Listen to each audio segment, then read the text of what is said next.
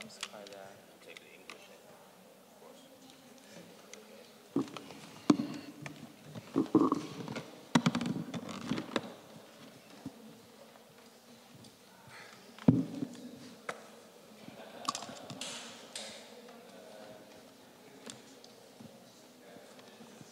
penning there. Uh, one of my favorite uh, painter. Uh, you always choose that.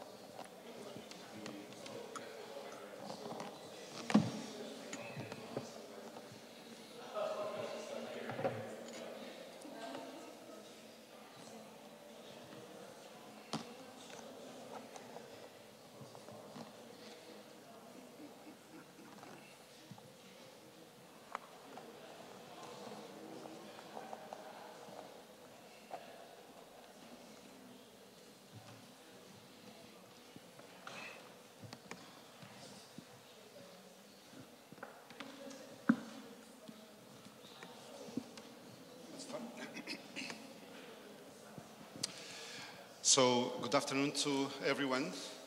Thank you for coming to this uh, session of the Literary Festival. Um it's about uh, a novel that is uh, a novel about uh, very significant episodes of uh, uh, Macau's history. And uh, here we have uh, a very, very rare combination of a novel that in itself it's very significant historically, and the author has his own historical pedigree. Uh, Marco Lobo is uh, part of a family that uh, uh, was, still is, but it was basically very, very influential uh, during the, the, the 20th century uh, in Macau. Marco's grandfather, Pedro José Lobo, you can see his name on the streets here in Macau. In the 30s, he was uh, the director of the economic department here uh, in Macau, but uh, his uh, influence was much larger than the title could suggest. He was basically the person that, along the years, for several decades, was um, the closest advisor to successive uh, governors.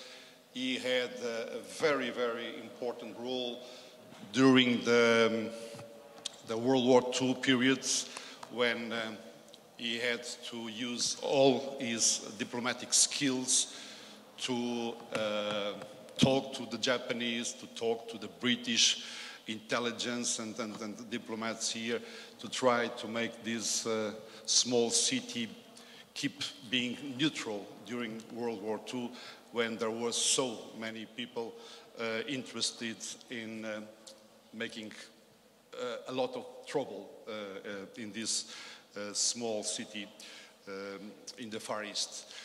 So for me, it was quite a surprise to realize that there was a Marco Lobo that was such a good writer. I came across this novel not too long ago, and of course, I immediately thought that Marco had to be uh, a guest of the Literary Festival, and this novel that was only published in English had, of course, also for its quality and for the fact that it is so important also in terms of uh, Macau's history studies and so on, this novel should definitely be translated to Portuguese and to Chinese as well. Um, we did a very, very um, big effort to make things happening in time. Uh, you can see the results. Uh, we have published the first edition of this book. Uh, we are planning to do further editions, eventually with hardcover, eventually with some more documents to enrich uh, this uh, excellent work by Marco Lobo. Before uh, we talk about the, the novel, I think it would be important to read it a little bit for you to have an idea of uh, what is it about and the kinds of writing uh, that Marco used uh, in this work. So we are going to have uh, excerpts, uh, the same excerpt first in English by Marco then in uh, Chinese by Zhou Tang. He is the, the author of the preface of the Chinese edition. He helped also with the proofreading. And then Teresa Sena uh, with the Portuguese, she did exactly the same role in the Portuguese edition. So, Marco Lobo, please. Thank you so much. Okay, take this one. Thank you very much, Ricardo. Thank you, everybody, for being here. It's really a pleasure. I'll um, speak a little bit more, but now I'll just start with, with, the, with the reading. Okay. Vicente didn't know how long he'd been sitting there. A near empty bottle of port on his desk was no help.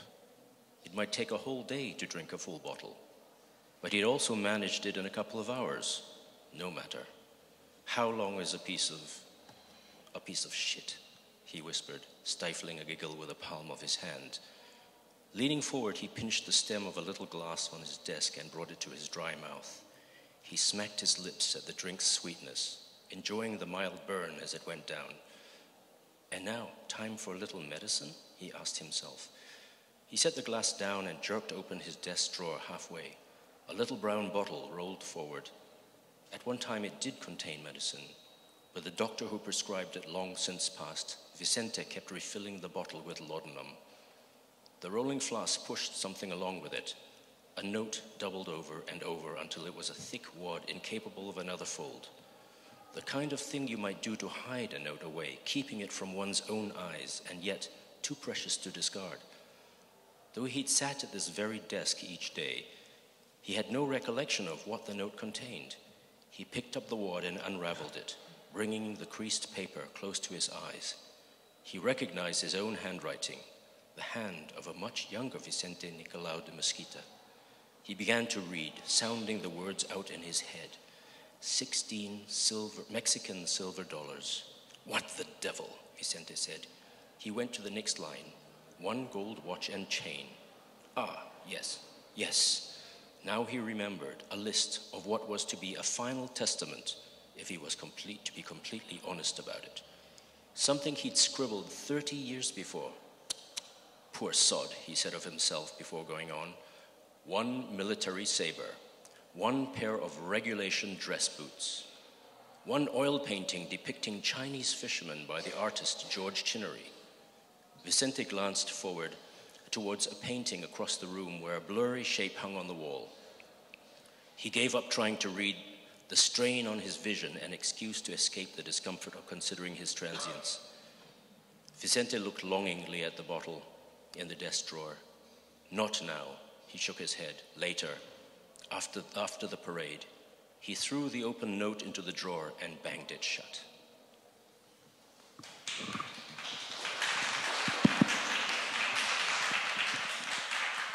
Okay, now it's a Cantonese version 吓。维生特唔知道佢喺度坐咗几耐，台上边有一樽几乎饮晒嘅波特酒，但呢个判断唔到时间。饮晒一支酒有时会用成日， 不過幾個鐘都唔係冇可能，冇所謂。呢、個有幾長？呢張頂啊！佢低聲咁講，揞住嘴冇笑出聲。佢傾身向前，揸住桌上高腳杯嘅杯頸，送到乾渴嘅嘴邊，酒微帶甜味。佢滿意咁樣搭下嘴，享受住落肚嗰陣輕微嘅灼燒感。而家食啲藥啊！佢自語道。 佢放低酒杯，拉開櫃桶，櫃桶開咗一半，一隻中式嘅小樽仔滾向前。以前入邊係有藥嘅，但開藥嘅醫生一早死咗。維生特就一直自己向入邊灌嗰啲鴉片丁。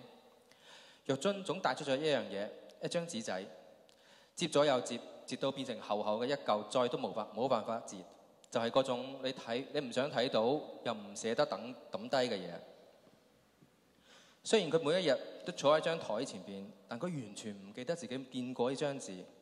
佢拎起個紙團，一層層咁樣展開，將一張稠掹掹嘅紙擺喺面前。佢認出咗自己嘅筆跡，好多年前年輕嘅維生特克尼尼克勞美士基打寫低嘅字。佢吃力咁樣望住紙上嘅字，係腦中大聲咁樣讀出嚟。墨西哥銀元十六塊，咩鬼嘢嚟㗎？ 維生特嘀咕咗一句，繼續讀落去。今年金標一隻啊，冇錯， 佢醒起呢係張清單，或者直白啲講係一份遺囑，係三十年前匆匆咁樣寫低。唉，真係可憐。佢諗起當年嘅自己，然之後繼續睇落去，佩劍一把，軍靴一雙。喬治錢勒利畫中國油夫油畫一幅。 維辛特望咗一眼對面嘅牆，朦朧之間佢見到一幅畫嘅輪廓。佢冇墮落去，眼睛太辛苦，只係藉口。真正嘅原因係佢諗到咗短暫已逝嘅青春，生生不快。維辛特眼紅咁樣望住櫃桶入邊嘅藥樽，而家唔食得，佢擰下頭。一陣呢，等遊行結束咧，佢將打開嘅紙仔掉落去櫃桶，bang 咁樣一聲閂埋咗。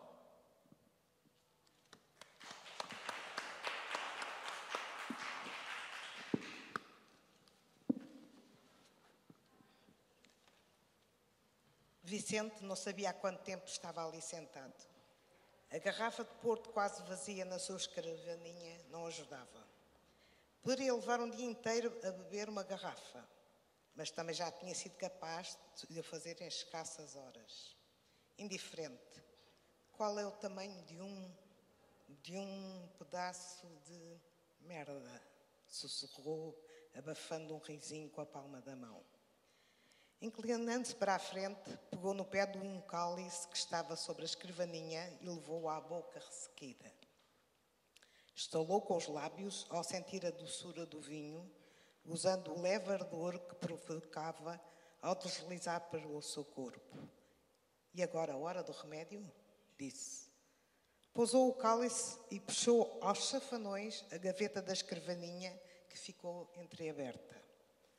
Um pequeno frasco castanho rolou para a frente. Contivera em tempos um medicamento.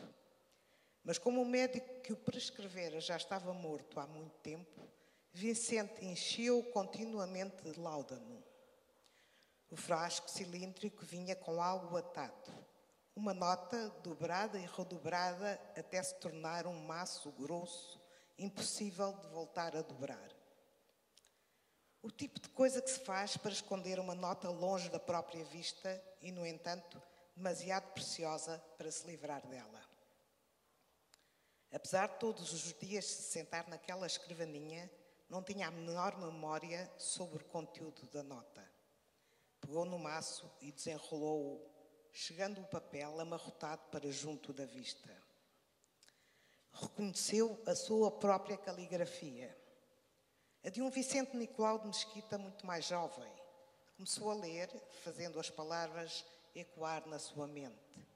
16 dólares de prata mexicana. Que diabo, disse Vicente. Passou para a linha seguinte. Um relógio de ouro e uma corrente. Ah, sim, sim. Lembrava-se agora, em boa verdade, de uma lista, daquilo que viria a ser um testamento. Algo que escrevinhara 30 anos antes. Tch, tch, tch, pobre tipo disse sobre si mesmo antes de prosseguir. Um sabre militar, um par de botas de cerimónia regulamentares, uma pintura ao óleo retratando pescadores chineses de George Henry. Vicente relanceou um retrato do outro lado da sala, onde uma forma desfocada pendia da parede. Desistiu da tentativa de leitura, com a atenção ocular a servir de desculpa para evitar o desconforto de pensar na sua transitoriedade. Olhou com desejo para a garrafa, guardada na gaveta da escrivaninha. Agora não, uniu a cabeça, logo depois da parada. Atirou a nota aberta para dentro da gaveta e fechou-a com estrondo.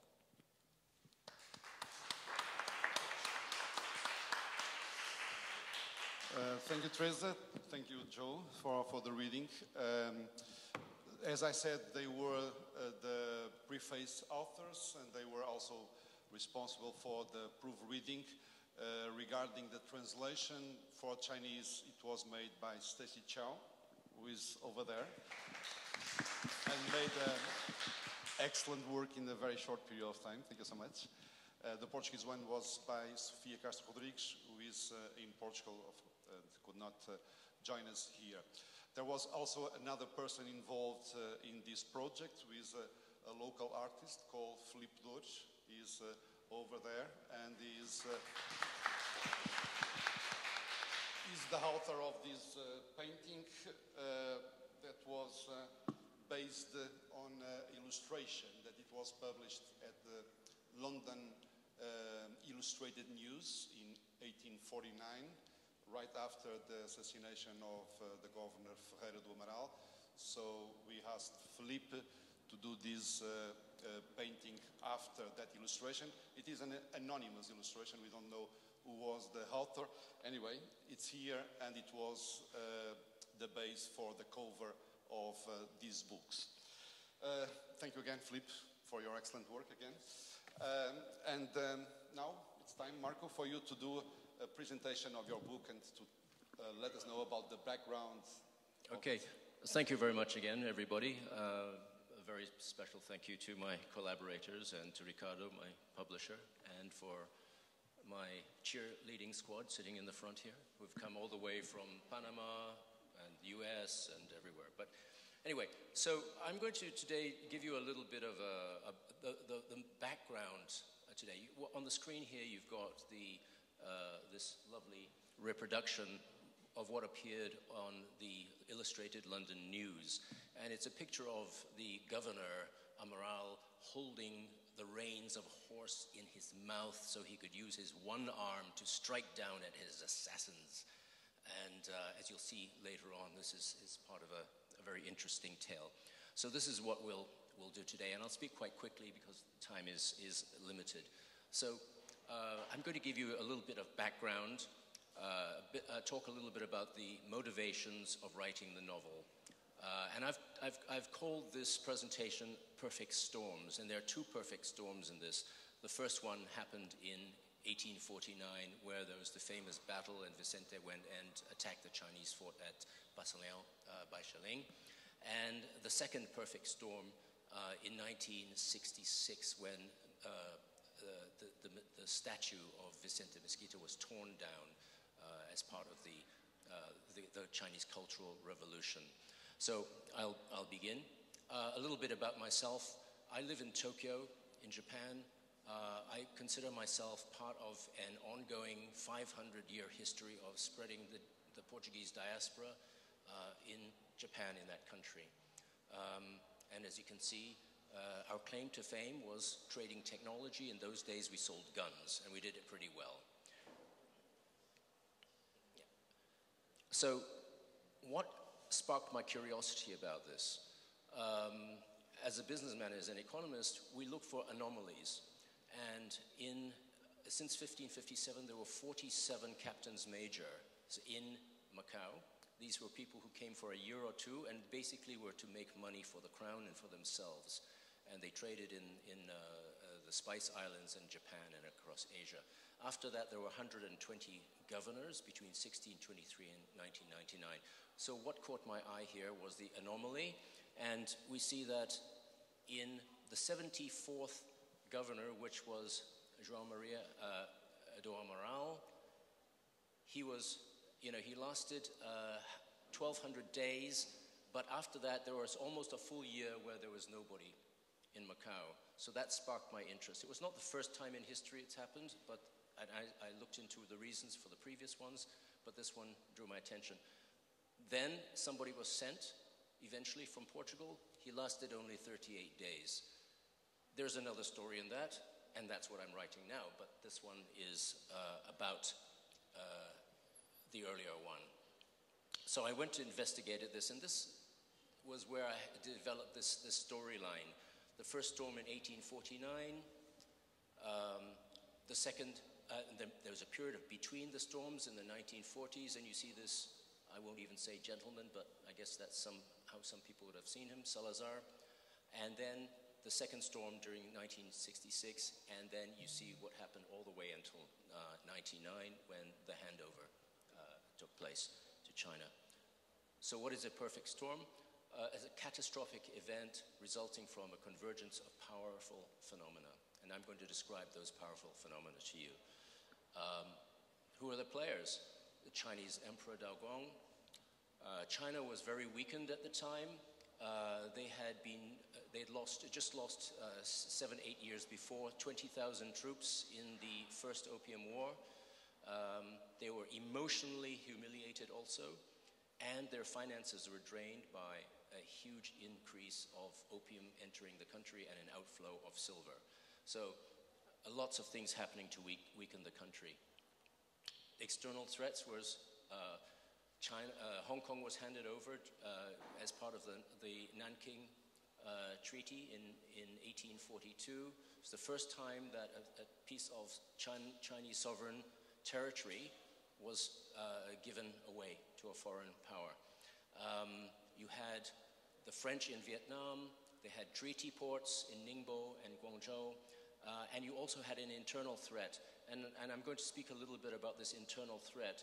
Uh, if, if, you've heard of the, the, the, Taiping Rebellion, which was for eight years from, 19, from 1850, Macau had a great deal to play in that because it was a, a printer, a Protestant missionary by the name of Morrison in the early 1800s who established a printing press and translated Christian texts into Chinese. These were brought into China, and a Christian army was formed that eventually threw, uh, almost threw over the Qing government. So Macau had a, was punching way above its weight, way back then. In this story, who are the players? The Queen, Queen of Portugal. Portugal was also weakened. It had lost Brazil. Um, there was a challenge to the throne. Napoleonic Wars had devastated its military and navy. It relied heavily on Britain.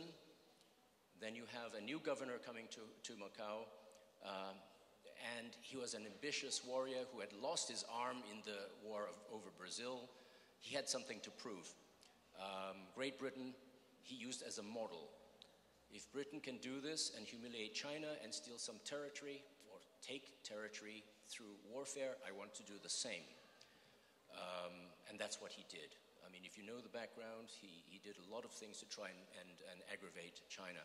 Uh, and then our main player in this tale is Vicente. I call him accidental hero. And on the other side, uh, I refer to as a pot stirrer, was the Catholic bishop, um, da Mata.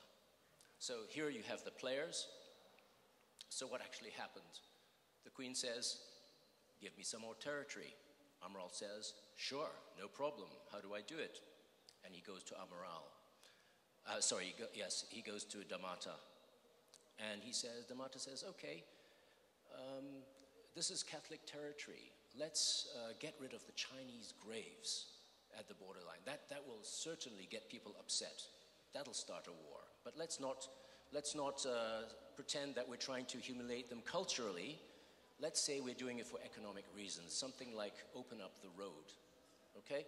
So you have a, in, in the book, you have a small conversation between these two men. And I, I put this in here because uh, it's important in what happens a century later. Uh, you have uh, Bishop da Mata saying, There's nobody, you know that if the Chinese come over the border, we will be swept away like pebbles in, in, in the water. And Amaral says, well, luckily there is nobody in China that can unite the people. And he was right at the time, up till 1966. This is what it looked like at the time. Uh, you had this narrow neck, and you can see that small line, which is where the, the action took place.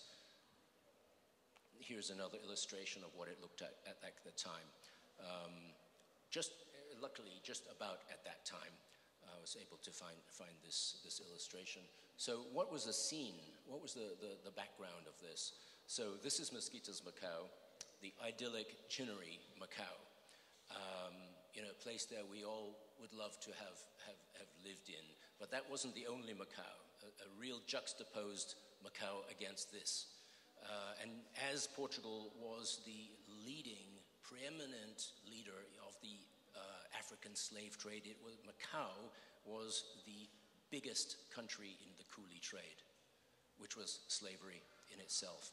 Uh, and I've read lots of different uh, accounts of this, but uh, the most recent one I heard, I've read up to 500,000 Chinese were traded through Macau. Um, and of course, it was a century, uh, it was a center for opium trade until the British basically took over with, with the establishment of Hong Kong. Um, characters in the novel, these are minor characters, but still important ones. Um, the arch enemy, Breno, in my mind, he was also Bluto from Popeye. Um, you've got the tavern owner, Pearl. You've got Francisco, who's his fat friend. And you've got the Taotai, the district chief, coolies who are assassins. And you've got Gerardo, the butler of Amaral, who's also quite important in this. Okay, uh, some people might not like to see history this way, but I saw uh, the two of these men, Amaral and, and Vicente, as Don Quixote and Sancho Panza. And, um, you know, Sancho Panza, actually, if you've read uh, Cervantes, was not the bumbling fool. He was the one, the level headed person who gave very uh, solid, you know, down to earth advice to his master. So it, isn't all that bad for him. Uh, so what happens? The Chinese graves are cleared away, a bounty is put on Amaral's head, and then you have the action. And he is assassinated. Some people say six, some seven. Um, I hope you read the book and believe my account, because I don't believe these. um, this is what the London uh, Illustrated News printed as part of that article. Amaral's death has caused universal regret among the foreign community. His vigor, courage, and firmness in dealing with the Chinese nation secured him respect and admiration of all. I'm pretty sure the Chinese didn't feel that way.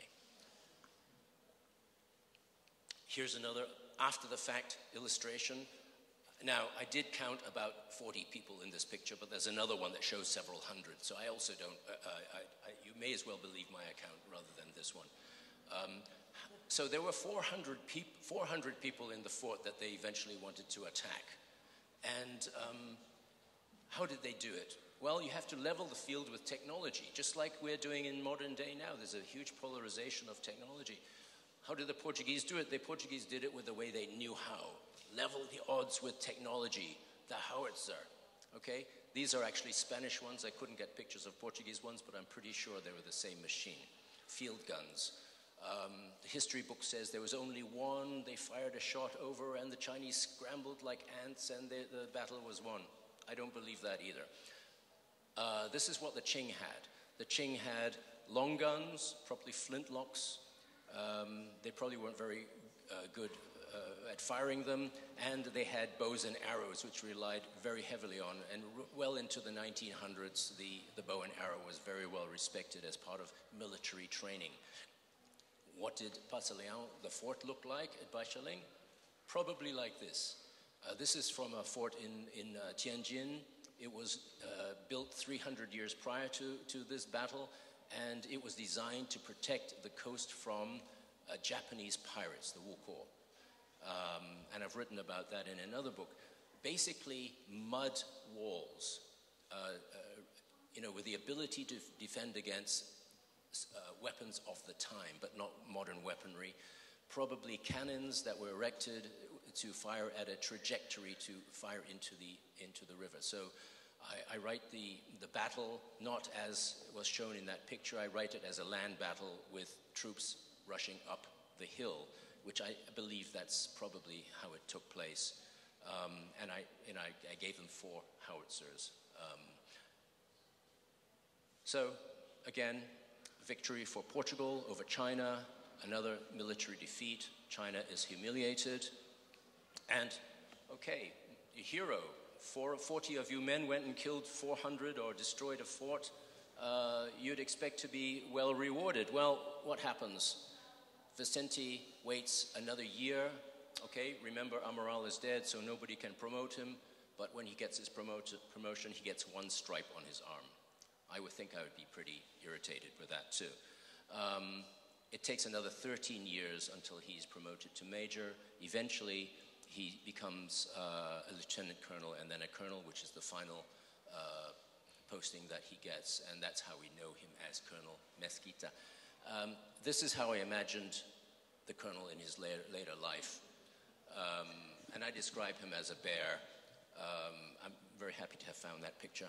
But uh, read the book and, and be amused by it. So that's the end of the first storm. Vicente dies um, as, at the end of this storm in, in 1880. Um, it's a very tragic ending. Some of you may know this. He killed his family and threw himself down a well. Uh, the governor and the bishop of the time said, We're not going to allow you to be buried as a Catholic. And so uh, he was buried um, in, in a, I don't know, unmarked grave or something somewhere. I don't know that part of it. Um, it took 30 years later, his, his old, oldest daughter petitioned for uh, him as a hero and got him his, his body dug up and reburied in the Catholic cemetery. And now we know this man is a hero. so this is between storms. This is what happens. Uh, you have a situation where you have uh, Salazar in Portugal uh, selling tungsten or wolfram, which is what you need to develop strong armaments, and he's selling, because uh, Portugal is a neutral territory, he's selling to both the Axis and allies. He's becoming very rich, and he has money to uh, rebuild empire. And I think some of you who've grown up in Macau are familiar with this, this map. Um, and he's, he's basically saying, We're not a small country. Look how big we are. We are as big as Europe. And I remember my father being very proud of that, um, saying, You know, Marco, Portugal is not a small country. So um, that's the background to this. Uh, so statues were built.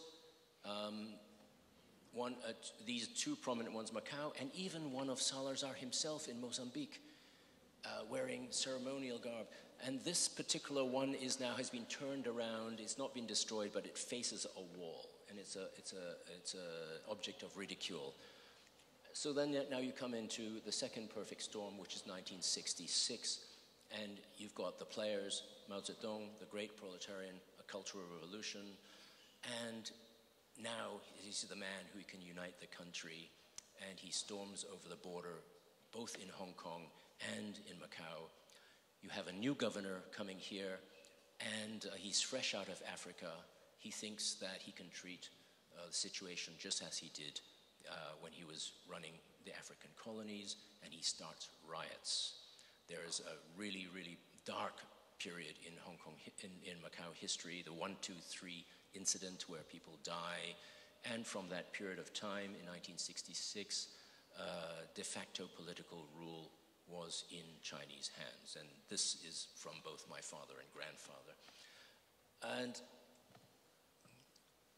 what happens next? Mesquita statue is torn down in 1966 as a result of this uh, very poor management of the situation. This is, I think, from the South China Morning Post. It describes a truck pulling it down. I actually describe it quite differently uh, with men pulling it down. Uh, better storytelling, I think.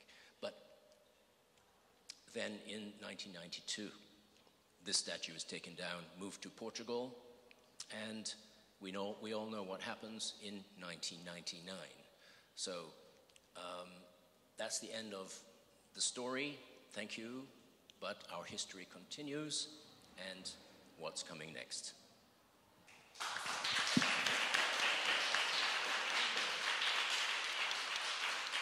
Thank you so much, uh, Marco. Now let's uh, hear what uh, is the opinion of uh, uh, Teresa and uh, Joe about the book they're reading. Joe is himself a novelist, and by the way, he wrote a short story Um, that touches this same episode of the assassination of uh, Governor Ferreira do Amaral, a book that we uh, had the pleasure also to translate to Portuguese and uh, English. It was first published in uh, Chinese, and we uh, presented here a couple of years ago also in the Literary Festival. Teresa is also a writer, more non-fiction writer. She's a historian, and I would start with you, Teresa. What is the opinion you have about the book? Uh, I know it, you loved it. Uh, can you tell us what is uh, uh, what your, your feelings about it? Yeah, that's an incredible book. Congratulations. Uh, it's a very good fiction, very well conceived and written, dynamic, funny, and well researched, as we have seen. Uh, Okay, I have always a problem. I wrote it in the preface uh, because I'm a historian, huh? so to, to establish the limits of the fiction, but I'm not entering uh, this now. So I uh, think it's a very uh, excellent and challenging contribution to the fiction, fiction on Macau. So, it is fake, uh, uh, based on historical facts, and this background is well settled, except one or two importations that uh, uh, I find a little bit excessive, like the slavery. That's my opinion, because the coolies trade is another context. But I understand that it fits the narrative. Uh, a, a very good uh, insight on the and the portrayal of Macau of the, the time. Political, international context, we have- the British presence, the Sino-Portuguese relations, and the peripheral, I'm sorry, situation of Macau in the context of the Portuguese Empire, the coolies, the opium, the trade, the church, and so on. The characters are very well imagined, and uh, they, through them, you enter in the social and power relations, cultural and ethnic scenarios, and lat- latent tensions, uh, the background tensions existing in Macau. What I found is, but this is not the purpose of the book, is that the political tensions of Macau are almost absent, absent of, uh, of the book. Uh, okay, we know that Amaral has a, strong hand, but anyway, that's something to note as a historian. But what maybe what I found more exciting is the exercise that you have done on the understanding and reconstructing the, me- the memory. Understand, understanding your legacy. And uh, the, um, that's very important, and I would like to show something about this is that the memory of Amaral in the, the Macanese, the diaspora, was very present and very important. And you got it from, from that side, and you are questioning this memory and trying to re- reconstructing it in a very, very nice way. So um, I'm not going to enter uh, deeply on the other questions, but Macau, uh, Mesquita already has had um, inspired uh, another fiction, not so developed as yours, an interesting one, uh, um, short story that has been published here in the Macau Script. Th- This is only the last days of Mesquita. That's Yeah, very it was, it was a short story that uh, was part of the first uh, uh, competition we did of short stories, and actually it won the Portuguese uh, edition of that uh, competition. So later on, I would like, if I have time, to go to the uh, memories construction and the, the myth of a Mesquita. But I think now it's time to give the floor to Joe Tang. Thank you. Right, sure. It's a very good, very good book. Um, I, I uh, as just Ricardo introduced, I also wrote a story about uh, the assassination of Amaral. Um, so uh, I record, uh, like uh, I think it's the last year, but I was invited to uh, give a give a speech to um, a local middle school, which that school is just along the, lo, lo, its location is along the, um, a very famous street in Macau, which named after mosquito. Uh, in Cantonese, it's Mei Fu Zhang Mei Fu Dai Ma So um, I decided to change my topic a little bit because I usually because I talk about my novel, I talk about Amaral assassination, the incident uh, which just uh, Lobo has already introduced. But in that uh, talk, I decided to slightly uh, adjust it to put the focus more on Mesquita.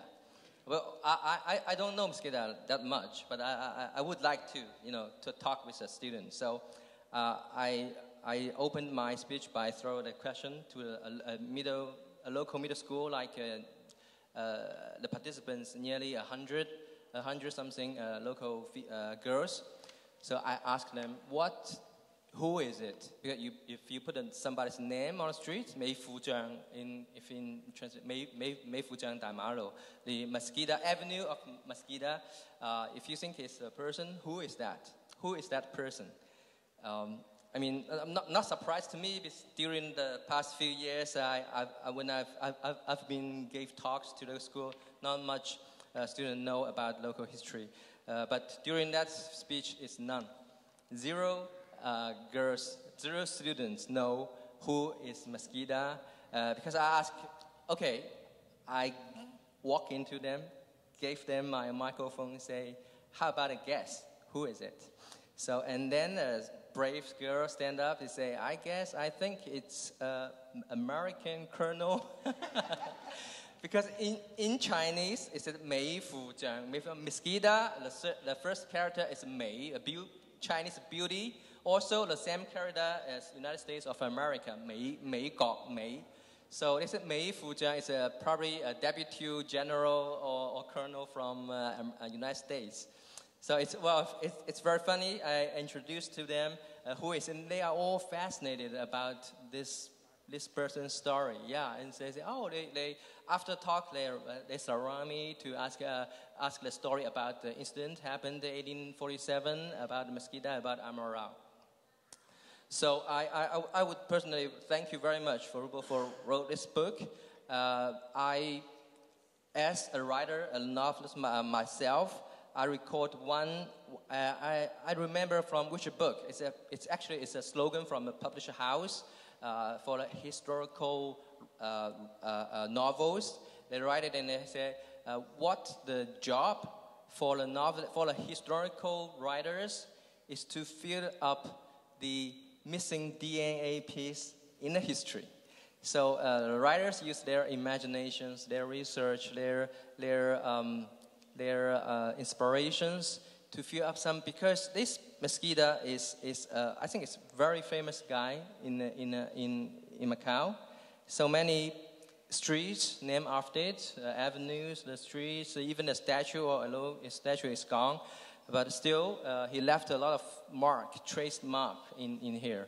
But of course, uh, the the the um, the um, how should I say it, the the judgment or the uh, the opinion towards this figure, I think is could be quite different from Portuguese community, from Chinese community, from local local Chinese community, and from the um, from the um, uh, uh, mainland Chi- Chinese community. It was, we, we all, but it, I think after all, uh, this book give, us a, uh, uh, give me a very very interesting uh, inside look because it allows us to see a person inside a person. I mean, after all, we are all person. We are all human being, and, and no matter what races we are, what nationality we are, inside we have same same same kind of feelings. We we hate, we love, we we we we scare. You know, it's it's it's no matter. I don't know. Maybe AI developed someday will will make that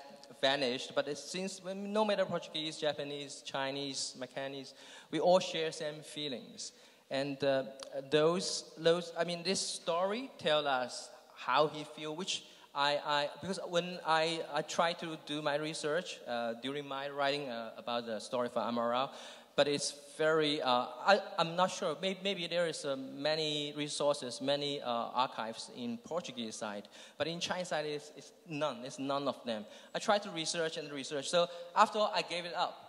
I, I, I, did not put Mesquita in my in my novel uh, because it's no sufficient. I, and I, I, I, because it's a real figure, I do not want to make it up. So I, I, I make uh, my, make a, a fiction fictional uh, character, the uh, old Chinese servant, uh, alongside with Amaral. So I make the story go along that direction.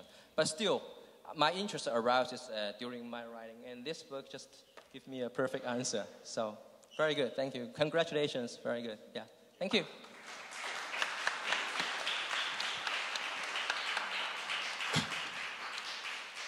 Uh, it is really not a surprise that this little girl did not know anything about Mesquita because uh, until very recently, uh, no one was actually studying uh, Macau's history. In Portuguese schools, you would study the history of Portugal. In Chinese schools, you study the, the history of China or the history of the world.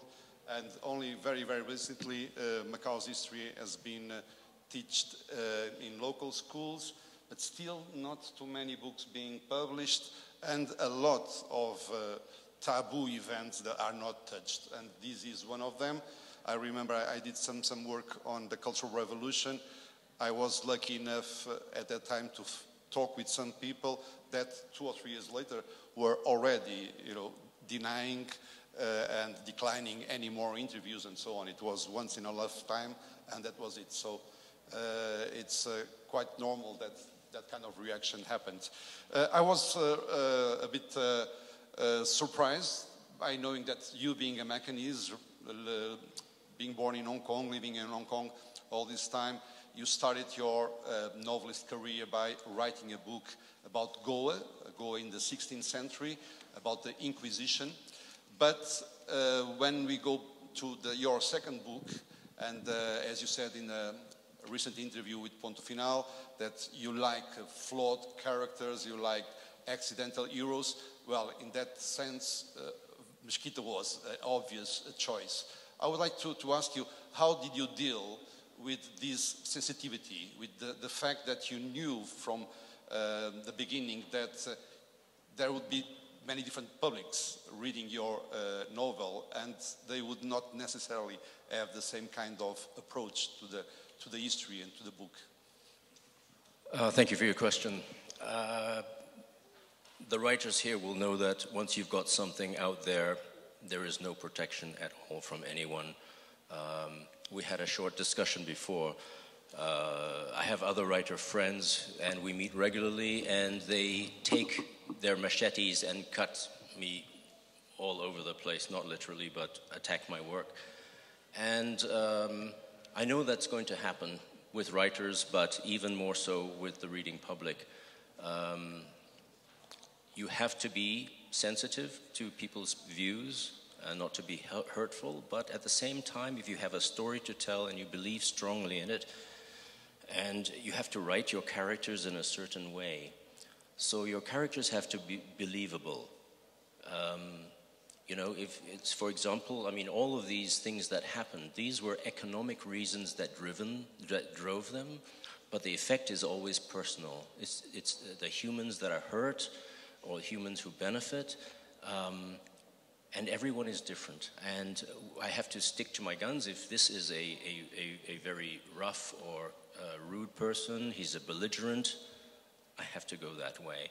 I can't change the dialogue or something just because I feel someone will be hurt. Uh, because, okay, these are fictionalized characters and they may not like them. Uh, but if they are moved emotionally by them, then I think I've done my job in this sense. I- I want to add, add one, uh, so my, my personal opinion.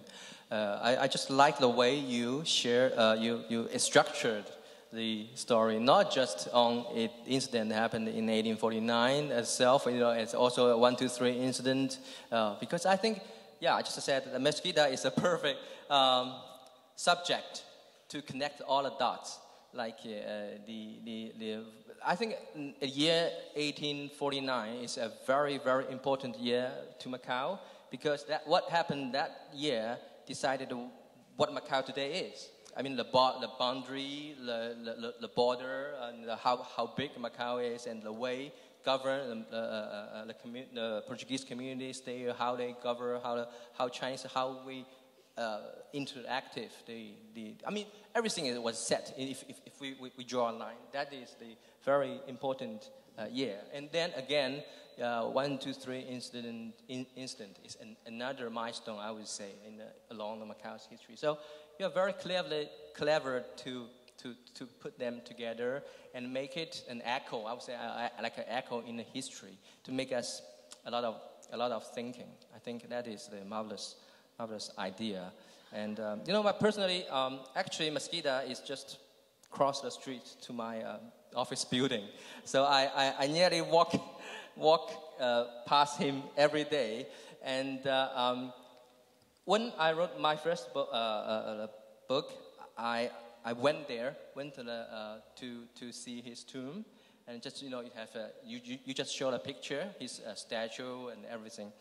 Uh, but now I went there second time after reading your book. So, and, and then I noticed there is another um, graveyard and, and another uh, tombstone alongside Mesquita, which I didn't see last time or, or, or previously. It's a stone, uh, uh, wife, um, uh, Babina. Babina and uh, his daughter, uh, Rosalina, I think it's, yeah, her, her name is Rosalina. And it would surprise me when I read the stone carved.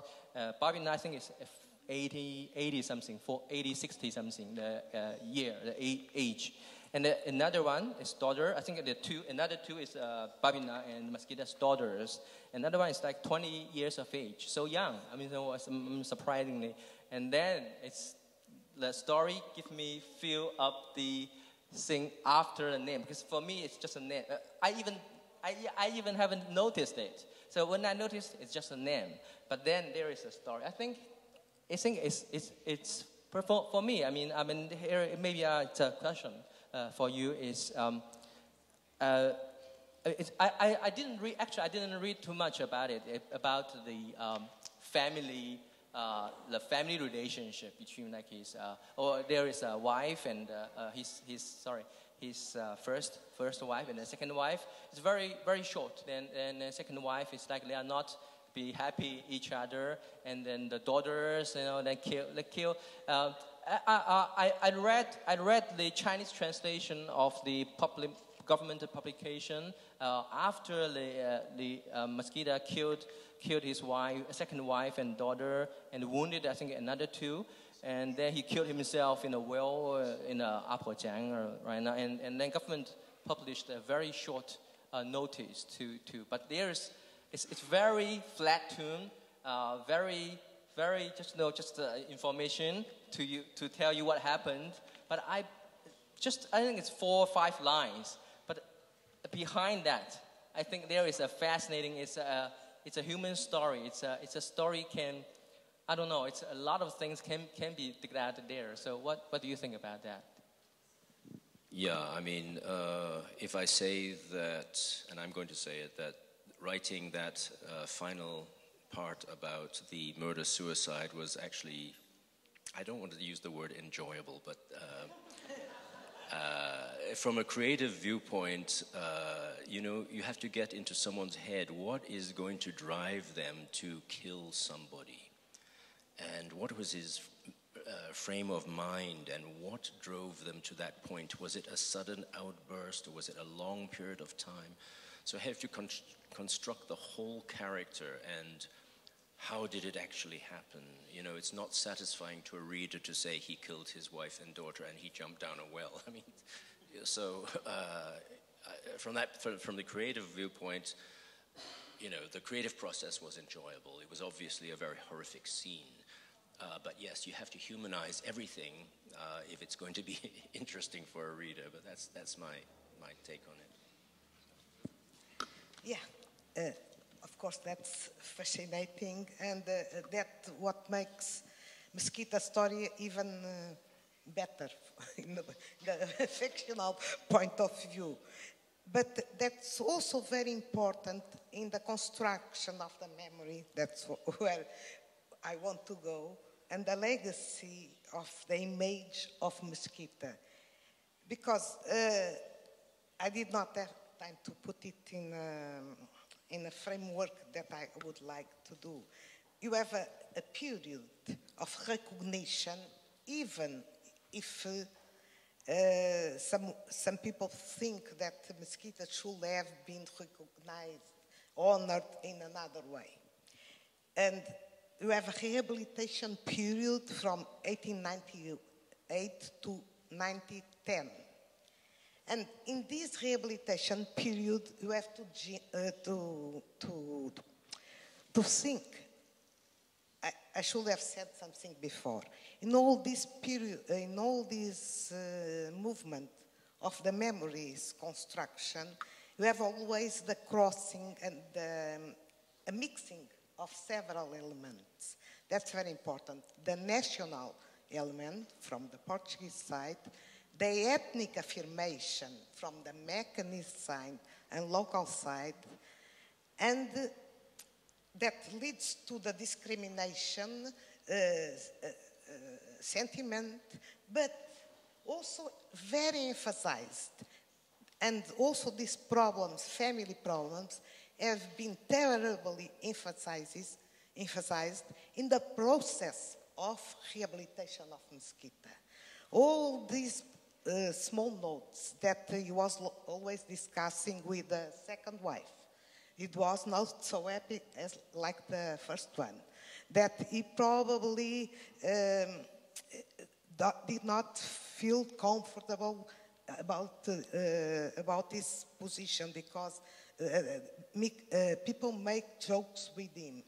This all comes from the uh, the, the um, testemunhas, testimony, witness in the process of rehabilitations, of re- of rehabilitations, and especially General Garcia, because he has wrote some notes and written notes about this, and uh, he was the man when uh, the burial, uh, the public burial, official burial was uh, forbidden, has, uh, uh, has uh, assembled all the officials to go and to follow uh, Mesquita Corp, uh, the tomb, until the tomb. Um, uh?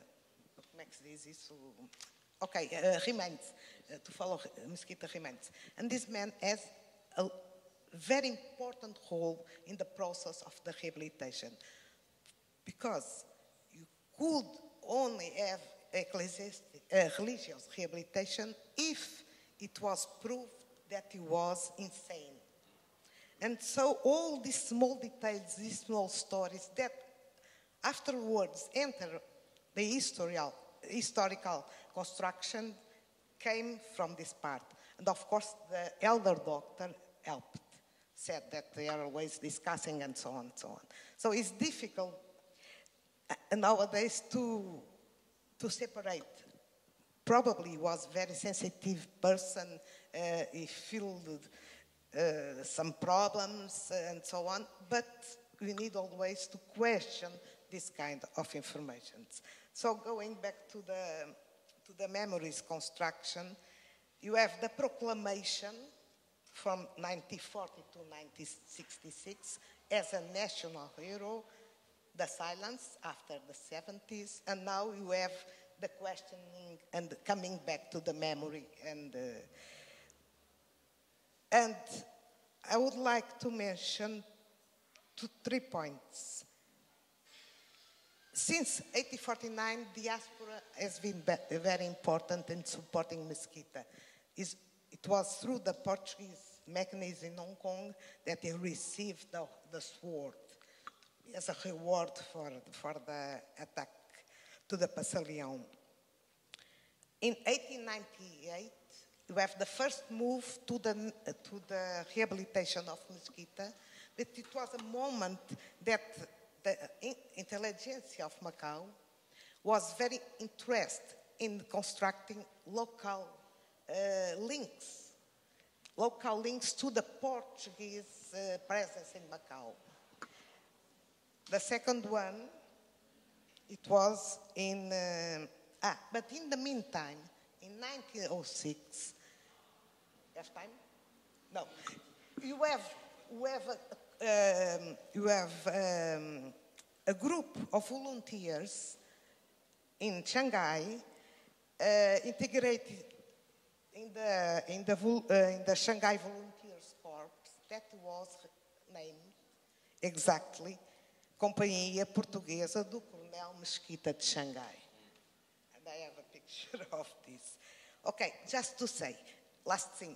In, when is the national uh, proclamation, national from Portugal in the 40s of Coronel Mesquita, it's not only because uh, the Port- Portugal was a little bit healthier at that time. It was the moment of the double uh, celebration of the nationality and the liberation from the Spanish. It was the moment of the consolidation of the regime established formally in 1936. It was the moment that it was important to show heroes in all the Portuguese world, as it was said. I cannot So no questions to Marco? No, yeah, uh, uh, okay, we, we, we reach already uh, the one hour mark in our presentation. I would open to the floor for a couple of quick questions. Um, that gentleman over there, please.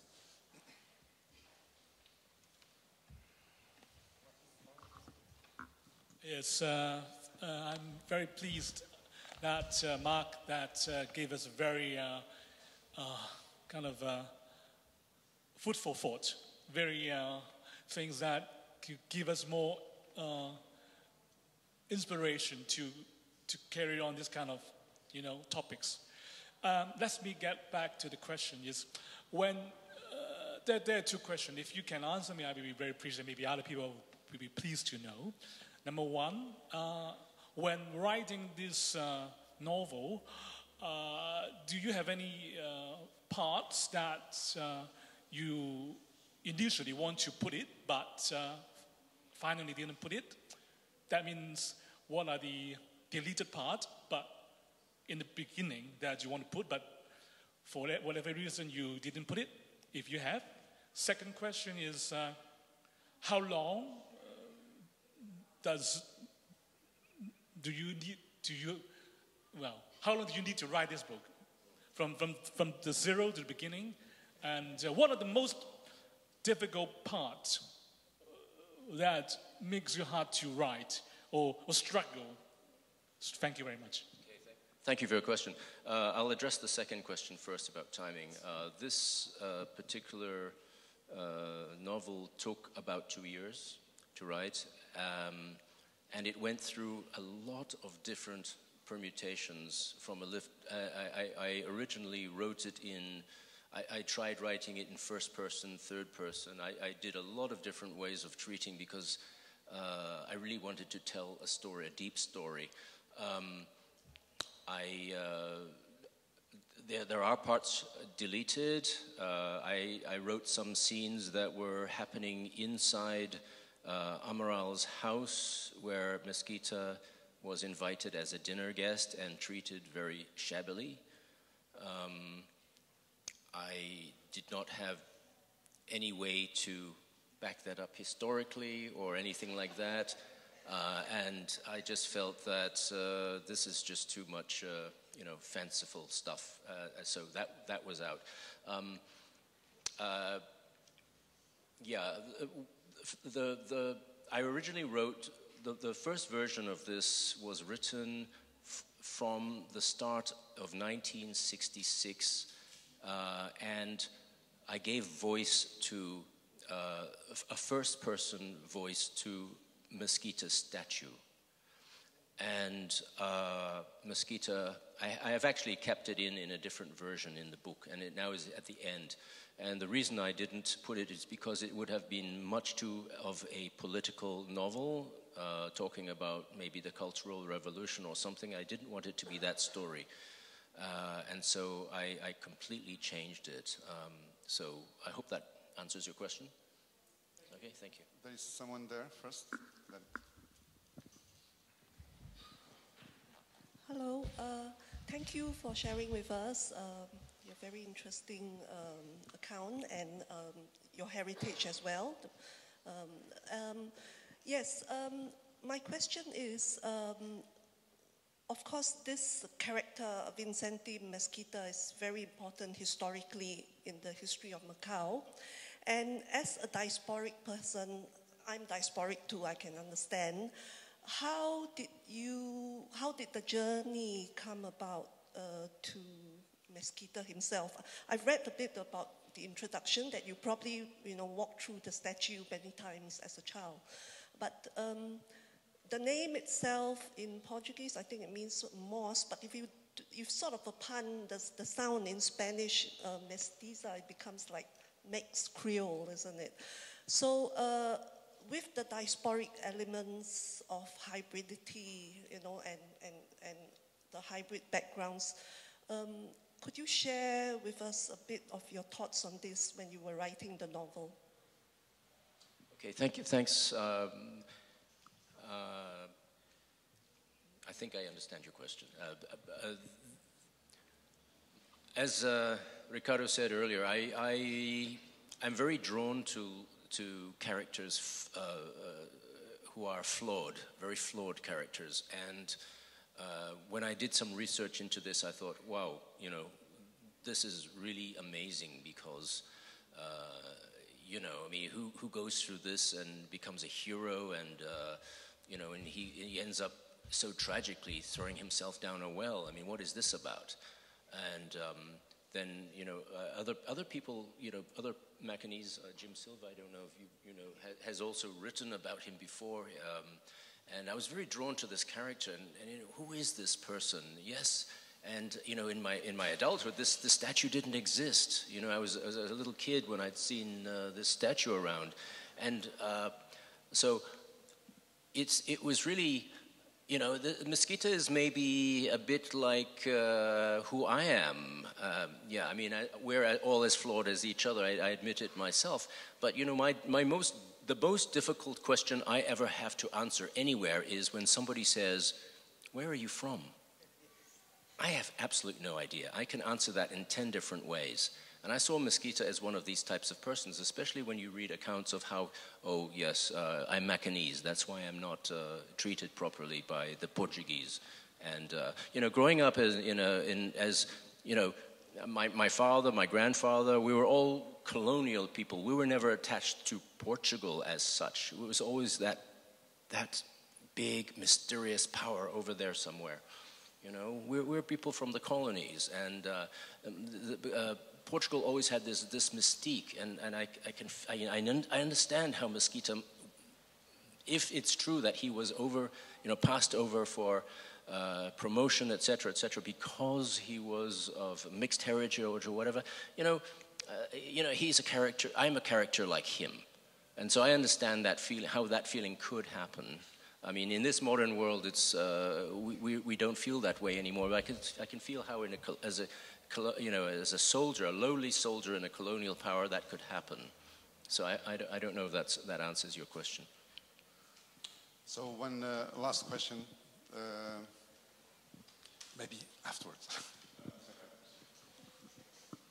Uh, Mr. Lobo, first of all, I must say that I have a great respect for your grandfather and also your father, you. two very successful people who have influenced Hong Kong and Macau. Yes. And then some small remarks. First of all, I don't think that General Nobre Carvalho was one of the, should be one of the acting players in the 1966 incident. Because he arrived in Macau a few days after the, the, the, the, the incident occurred. At that time, the acting governor of Macau was Montes Severo, and the, mismanagement of the city very badly. So which, this is why we provoked the, the riots leading to the 1966 incidents. I don't think Nobre Carvalho have anything to do with, with, with us. Uh, only have, have